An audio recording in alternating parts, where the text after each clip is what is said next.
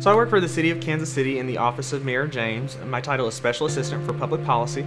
I work in the areas of public health, transportation, and energy efficiency. I am responsible for making sure that the mayor is fully aware and briefed on ordinances and developments in those three areas.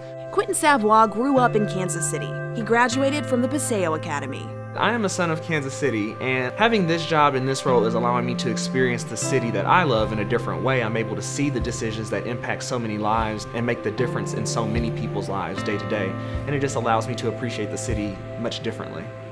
After high school, Quentin attended three other higher education institutions in the area and then enrolled at Metropolitan Community College. I don't think it was anything about the institution per se.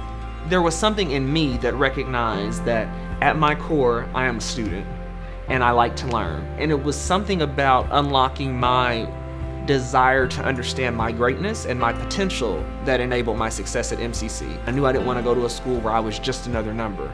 When I walk down the hall, I want my teacher to be able to call me by name. So whenever someone asks me about MCC, I say it's the best decision I've ever made in my life.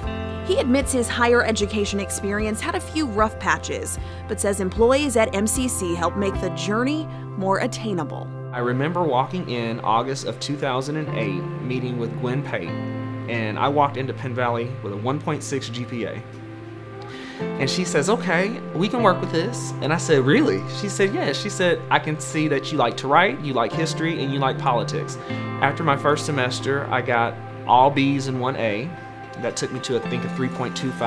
After that first semester, my GPA allowed me to get involved in on-campus activities. And I think that is what unlocked the door to my success at MCC. I started being accountable to my peers and I was involved in the culture of the campus that enabled me to really have a support network aside from just the faculty. Dr. Craig Bartholomew and Lyle Gibson and Dr. Carrie Pickerill Brooks. Those were some of the teachers that really had a hand in making sure that I was engaged, I understood the coursework. I graduated from MCC in May of 2010 and I went to Rockhurst University. Second best choice I've ever made. I can look back and say, you know what, it was all worth it. I would not have wanted to have gotten it right straight out of high school because I would not have developed the affinity for learning that I have. MCC is more than the 13th grade.